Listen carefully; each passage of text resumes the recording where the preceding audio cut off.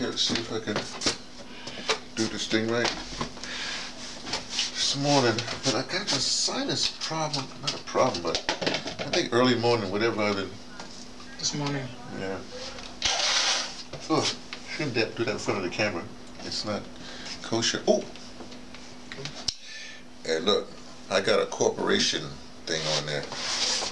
And this might be a rather. Hey, Master Claudia, how you doing, man? I see you doing some uh, some corporate things there, working Yeah. with uh, with- working with Google and wherever you're working with, trying to fix phones. Yeah, but uh, Hey, but listen. yeah. Here's the thing. How do I start to this? There's a couple of things. Even make some notes here. Let me start with the uh, unrelated uh, Camille uh, Paglia. Camille Paglia is a is a is an author of uh, academic. Uh, she came to prominence in the I guess in the 70s, but um, she's an early feminist. I mean, really. You know, that did the real work, right? And I was, I, I really, I really like Camille Paglia because I deal with people's brains, not with, with their images. And she's been maligned by the academic, by, by the feminists, especially the modern feminists. But here's the thing. I've listening to her, and I've come to the thing that I've always come to this thing. This has never really been a. a it's a class thing that they put us in, but it's never been a class war that we've been dealing with. If you say class war, it's always been a caste war. C A S T E. We're involved in a caste war. There's no such thing as class, especially in America. There's no such thing as class. It's caste. Okay. And I won't get into this right. Maybe I'll get into it a little bit later. Oh, here's the thing. When she first came into the, the early feminist movement, it was about uh, having the same opportunities um, that, that men had, you see? Uh, and she gives all kinds of uh, uh, explanations. Maybe I'll do a link in and she gives really good some explanation of what's, what's really happening.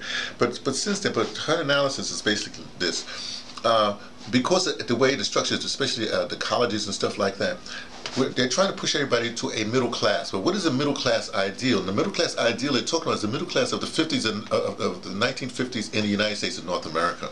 Which middle class was different than all everything else, because the middle um, uh, middle class was about image, is about you know aspiring into this um, whatever America is supposed to be, you know whatever it is but also it comes with some other stuff. R- rules, how do you act, you know, in proper society? You have to be prim and proper, you know. Um, so it's going to be different. With the classic, uh, if you want to do films like My, My Fair Lady, you know what I mean? Where you have the woman comes from the, and they just change her language and she dresses up and so she can be accepted into polite life. Whereas before, she would just, you know, be loud and whatever, like everybody else. Like in this neighborhood, you might hear somebody yelling back and forth because that's the way it is. They don't, it's not like walk over to them and knock on their door or call them or something. No, no, no. You say, hey, blah, blah, morning, da, da, da, da, da. That's the way it goes, okay? So what she says was lost, and the, the people the people are so timid these days. I mean, uh, uh, to give you an example, you know, they had this famous thing with this, some woman walking, whatever she's walking, and everybody's catcalling at her. Of course, it's a setup, it's whatever it is. But I saw something once time. There's a um, there's a thing called a cage in New York, uh, down in um, in the Greenwich Village, uh, across from the. From the Waverly Theater. It's, it's, it's, a, it's a little, it's a basketball court that's smaller than usual basketball. You come right out the subway, right out the, uh, the A train, uh, D train, F train stop right there, and it's right there. And I was there one time, and there was a sister. Um, she could tell she was like, you know, uh, executive because she had the the, the, the the skirt suit on, you know, with the thing, the thing. And she's walking past. Tall sister, she's walking past. So the guy does it, and so somebody said, "Hey, baby, blah blah blah blah blah blah." And she and she walking. Then she thought about. it. She stopped and came back. She says, "And what is it you want?" She said, "What I blah blah." She said, "I don't think you could. I don't think you f- afford me." I'm blah blah blah. But she said blah blah blah blah blah. So then she said, then she just walked away. And all the guys said, "Whoa!" whoa, whoa, whoa." Because that's it. It's about engagement. Going to fight, whatever have you. So so when these uh, people that come from uh, from the upper middle class, whatever they come from, and then they come and they try to uh, alter the. They go into they go into your neighborhood and they try to change you. The best way I can put it is like again down in um, uh, living down on Seventh Street. Uh, there's a um, a park there. Anyway, it, it was a little park there. It doesn't matter. And every night, you know, the Latinos be out there. They playing drums. Black Latinos. They play. What they play. They've been doing this for years. You know, for years. Tompkins Square, Tompkins Square Park. For years. The same thing happened. Let me Not just Tompkins Square Park, but the um, uh, Marcus Marcus Garvey Park, which they they want to rename back to Mount Morris Park. Doesn't matter. But uh, up there in Harlem, about 124th Street on down. Again, drumming all night. Okay, so people with some money, they want to hang out, they want to, you know, be whatever. Uh, I think the, the, down Tompkins Square Park, it was uh, Madonna. bought some some some property there, and uh, a, a lot of uh, stockbrokers were there, and they would complain about the drumming because they had to get up the next morning, whatever it is. Well, you knew this before you came into this neighborhood. Why you want to come and change it? And after all these years, they start changing the neighborhood. That's what gentrification does. Let me just go to my point here. So basically, Camille Paglia is saying that people are just way too sensitive. They don't have this uh, this this this uh, first it, the, the real immigrants that came here. The, the immigrants that came through the boats, the different immigrants that, that fly here and uh, uh, or, or, or they're, they're, different. Okay. Um, I'm sorry, I have to bounce around because this is a, an important point I need to make. It's about Donald Trump. When he did this whole border wall thing, I'm sorry. Let me let me stop that. I'll do that with another another video. So anyway, so that's what Camille's Pies is. It's way too sensitive. The, the people they're, they're not fighting. They're, they're not trying to fight to be equal. They have an equal opportunity. They're fighting to have equal, you know, whatever. But it's not a, a fight to put men down. And that's what's been happening. And men are not taking it. They're just not taking it. Okay, so let me leave that for now. Next thing. There's a thing called state capture. Before I go to state capture, there's a thing for uh, uh, getting what you wish for. Now, all through the late 60s and the early 70s, especially with uh, uh, small groups, everybody says, well, if we get some co corporate sponsorship, they were everyone want corporate sponsors, corporate sponsorship. And then finally, and it went all went through the 80s, and finally, I guess in the 90s, in the 90s, we got some corporate sponsors, but it came with, with a task. I mean, it came with some, you know, some, attachments. yeah, some some some uh, attachments, some some spider web, some some uh, octopus kind of tentacle things, you know. I mean, uh, the, the classic example I, I, I guess would be, um, well, there are a lot of examples. You can figure it out, okay? Now, that's that's that's that's the thing. Now, uh, there's a thing. Uh, let me go back. Well, there's a thing uh, we call, you know, this here, call it, state capture. State capture. This, then you had the, the incident state capture, the example here, they said the Guptas, this, this family from India, basically captured this state of, uh, the, the, the nation of, of Republic of South Africa, you know, through the, the, the, the previous president, uh, Jacob, uh, Jacob Zuma, and do all, and do all kind of manipulations, you know, and to get for their benefit, of course, and, and Zuma's like the middleman, like the CEO, they're, they're like the, uh, what do you call it, stockholders, and the poor people are just getting getting getting, getting preyed upon, right? Taken out of the state coffers, right? But to meet state capture is not just that. State capture is really an outside entity yeah. coming into your situation. That's the problem. Okay? Now, and state capture is usually done not by individuals but by corporations or, or individuals that, that, control a corporation. Right now, the United States is being captured. They're being captured by another nation. Oh. The nation is Israel. Now, I usually don't talk about Israel, mainly because it's the Israel that people that they can get, get, confused. There's three components. There's Israel, the state, state, right? There's the political, there's political, political, political sensibility. One of the biggest political sensibilities, the one that started Israel, is the Zionist mentality, the oh, Zionist the situation, Zionist, right? Then, of course, you have Jewish, the, the, the religion, the Hebrew or Jewish, whatever they, whatever they're saying. These are three separate things. Right now, the, the, the Zionist mentality, or the, let's call it the ultra, not the ultra, it's almost like a parallel uh, um, uh, white supremacy kind of thing. Because those people are Zionists, they're not the original uh, Jewish, if you want, people. Those are people with a political agenda that came in in the, the 1800s, whatever have uh, that, that started their little thing, and then they, they were looking for a state, whatever have. These are mostly uh, people come from a Europe, uh, European persuasion. That in other words, that they have less melanin than the original Hebrews had in their skin. Like the, the Jesus Hebrews are different looking than the than, than the Hebrews, or actually the yeah, a different. I'm sorry, Jesus was yeah, Jesus Hebrews are different than than, than the uh, Christians that you see. I'm sorry, the Christians, than the Jewish people you see in Israel or the Jewish people that claim to be Jewish these days. That it's a different melanin uh, content. Okay. Okay. So what has happened is that through their efforts and because the United States all supports them so much, that that is that Zionist strain has captured right the Israeli state and the Israeli state has basically uh, captures the United States. They control a lot of things. Hey, little puppy, we got a little dog here, a new doggy. Um, so, so basically, the United States, don't want to say it this way, they're in a moment of state capture by another nation uh, that's controlled by a, a, a, a, political mentality. I'm not talking about the parties, the Likud or whatever the that, that, that's propelled by this, uh, by, by this uh, Zionist you know, mentality. And that started uh, a little while ago. Last thing I want to say, there's a thing called the John Birch Society.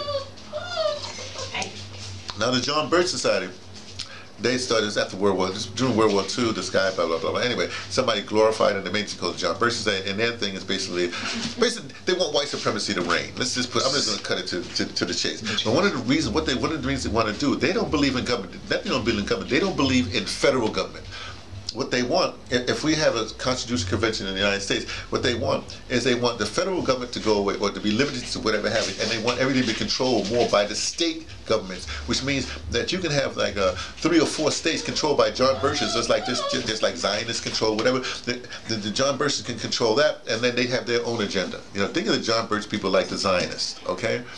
So we're being state captured in the United States. Uh, uh, so, but but then, but then you have these people that could uh, that could control uh, corporations. Right, you have the, the federal government now. Before they have their last, but they can they, the, the, the, corporations they want uh, um, things from the federal government, so they get things from the federal government that put strings attached. You see that whole thing, and so what happens is you have corporations now that, that will control policies that the government want, yeah. but the government can't do it, right? So what happens? We have right now. There's a situation. Um, the uh, Honorable Minister Louis Farrakhan, who is, the, who is the, the, now the head of the Nation of Islam, which is which started under Honorable Elijah Muhammad, and it was a whole thing. And they they do a lot of good in, in, the, in the black community as far as getting people recidivism, get people out of jail and stuff like that.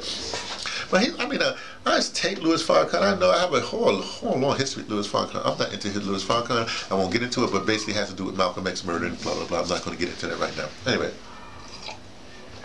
So I'm really not into Louis Farrakhan. But they have kicked him off of Facebook now. As you know, I don't do Facebook or Instagram or Twitter or nothing like that. You know what I mean? Uh, but a lot of people depend on that. But they kicked him off, of, and they tried to lump him in with some other extremist kinds of people.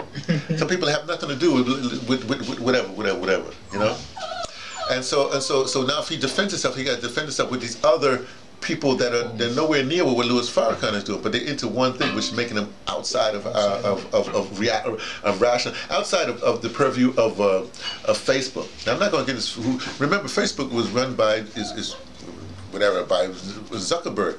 How do we know that Zuckerberg is not? I mean, uh, we don't know what Zuckerberg is. But the point is, now you have these these things that the, the, it's like the common uh, the, the what they call the um, the town square they say some people can't go into the town square. The last time I heard this kind of thing, is show you where it leads. Hey, baby, hey, hey, hey Gertrude.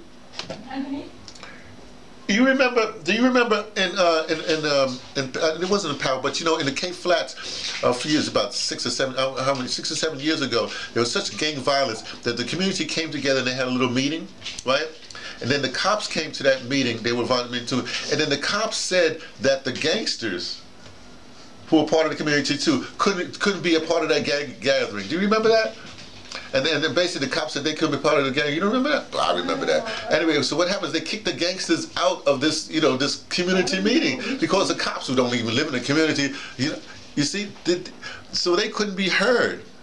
The, the criminal element that people were complaining against wanted to be heard, but the, but the authorities, if you will, kicked them out of a meeting that they should be in. This is what happens when you have a, when you have a, a thing like a platform like like Facebook, whatever have you. If you're not a part of that, that town meeting, then they go into you'll be those those those uh, they call them snowflakes easy, but that, that whole middle class sense said, oh you have to be proper, whatever have you. You're not represented, so you're, you're not. So you're going to have a grouping that has this values of this you see? So here, so, so here you have, you have, uh, uh, uh, uh you have people looking uh, with this with this John Birchman thing. You have you have the you have the Zionists. You, you have the middle class people, and then everybody else is just fighting. But then the, let me say, well, y'all can't fight. You know, this, Facebook says y'all can't fight. Y'all can't talk about each other. Y'all can't. When I say fight, I mean verbally. You know. So now we have a situation where people are not going to be able to talk to each other in large forms. You have to do this little state by state or little groupings, groupings, groupings. Maybe that's what we have to do. But what we have to do is basically get rid of the system that that that says that everybody has to be this type of middle class person, which which is a, basically you're, you're wimping out. You know what I mean? There are no there are no warriors. There are no there is no no um, change in this system. The, the changes make you have become a, a status quo, a, a, a, a single entity under what under what mentality is, is, is, the, is the question. So this whole uh, banning and, and all the rest of this stuff in the name of what? In the name of uh, a homogenous, uh, peaceful, whatever society? Well, you're wrong. You know, because all you're doing, all they're really doing is saying that the the the, the cigar smoking, you know, uh, I guess they don't, whatever they do, th- th- that's uh, that that is what you want to aspire to. You don't want to do anything else, and then nobody else can mix with it or affect that kind of thing. Okay, so I know this has been going on for a while. Sorry. But this uh, whole, I mean, we have to put this into perspective. This, this is not just about a banning of this, banning of that. We are the, we, the, the, the state, if you will, the, the, the government of the United States is giving all the powers to corporations so that they, so that the government uh, and the government can negotiate with those with those with those uh, corporations, which they which which is funded by tax dollars, is given break by tax dollars. Come on, you think that that that, that uh, uh, the Facebooks and the, and the, and the, and the Googles and even the, the, the Tesla. If they, if they don't have government contracts, you cannot. They can't exist. If they don't have money from the from the huge pots of money to, to get to, to some rocket and the thing, you can't exist. So anyway, uh, this this is going to be quite interesting. What happens, especially well, it's going to be quite interesting. What happens? This, it's interesting. It's going to be interesting, at least to me. T from the Pattersons is taking the train to Tibet, letting you know what I only suspect from ADOS of the ADOS, Yeah. the American Descendants of Chattel Slavery.